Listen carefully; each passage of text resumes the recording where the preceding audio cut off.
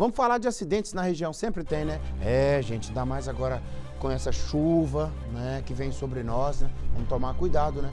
Uma carreta tombou e caiu em uma ribanceira é, na Serra de Piedade de Caratinga, próximo a uma fábrica de tijolos, né? É, segundo as informações, o motorista perdeu o controle da direção do veículo que tombou na estrada. É, eu tô enxergando demais ou a pista tá molhada ali, diretor? Tá molhada, tá vendo?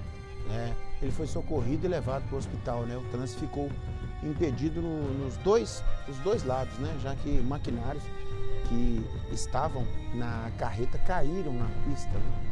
A, a, carreta transportava máquinas agrícolas. Tá vendo a turma filmando ali, né? É, é, acidente.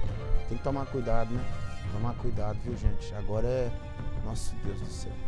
É uma mistura terrível, né? Fim de ano, tempo de festa, estrada cheia, água na pista, óleo na pista e nós outros transitando para lá e para cá, né? Olha lá a enxurrada, barro.